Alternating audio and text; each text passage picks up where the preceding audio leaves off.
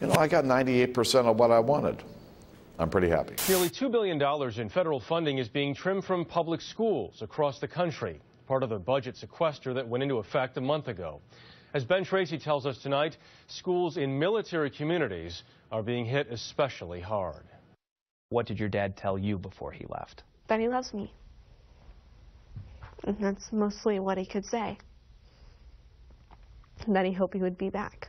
Tiffany Cook's father, Colonel Brian Cook, is on his way to Afghanistan. It's his fifth overseas deployment with the Army since 2004. What's the hardest part about seeing him leave? Just worrying about him, worrying that he might not come home. Cook is a sophomore at Silver Valley High School in Yermo, California, near Fort Irwin National Training Center. How do you feel about this? It's a scary feeling. She's worried that her school counselor will lose her job due to budget cuts.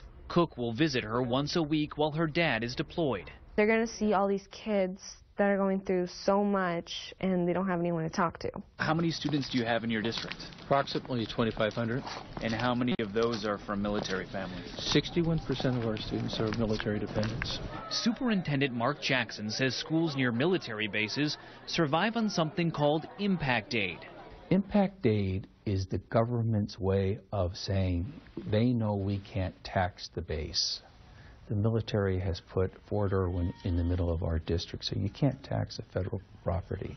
To make up for the loss of property taxes, $1.2 billion is paid out annually to 1,400 school districts nationwide, near military bases and Indian reservations. The sequester cut 60 million of that funding, in addition to the cuts affecting every school in the country. So then these cuts are hitting you harder. Really hard. It's a half million dollar hit for Jackson School District. He says he may need to cut bus transportation, teacher training, and those school counselors. You should have excellent schools for our military that's done so much for us. And to just cut them is just callous. Tiffany Cook has much more on her mind than her school's budget. I wish she was here. I just wish she didn't leave. Ben Tracy, CBS News, Yermo, California.